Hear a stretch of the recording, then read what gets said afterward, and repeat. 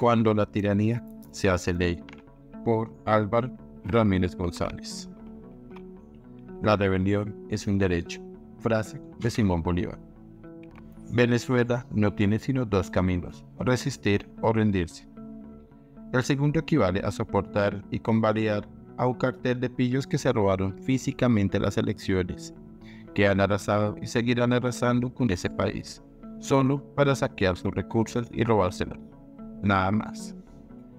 La demora de siete horas para dar los resultados era ya síntoma de fraude. Luego el hackeo al sistema electoral que anunció Maduro era una vulgar mentira.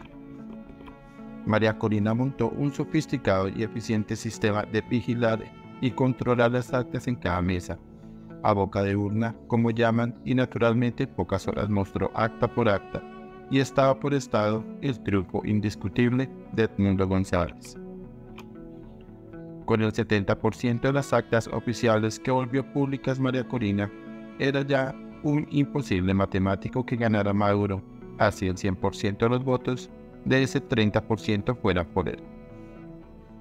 Para convalidar el atraco, CNE le entregó al día siguiente la credencial de presidente de Venezuela, como si esa credencial validara un robo tan burdo y vulgar al pueblo venezolano.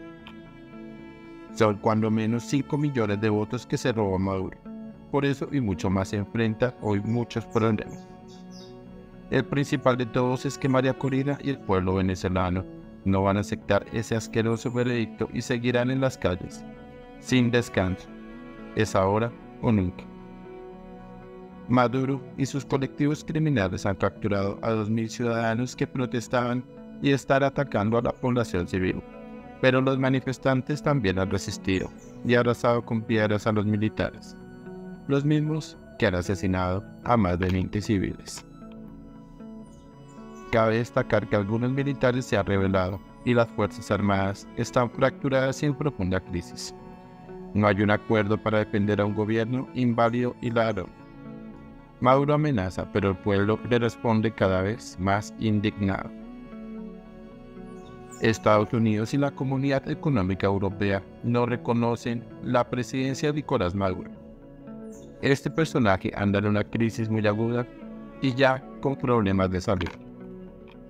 Parece que está en negociaciones para entregar el poder a cambio de que le retiren la recompensa por parte de los Estados Unidos y que el nuevo gobierno venezolano no lo persiga.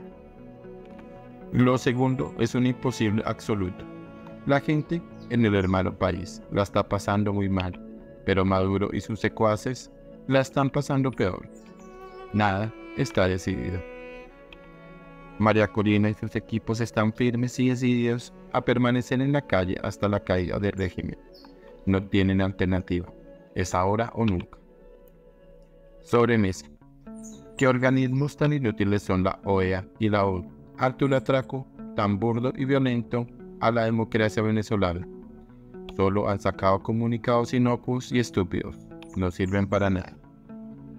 Unos nidos de burócratas costosos y totalmente inútiles.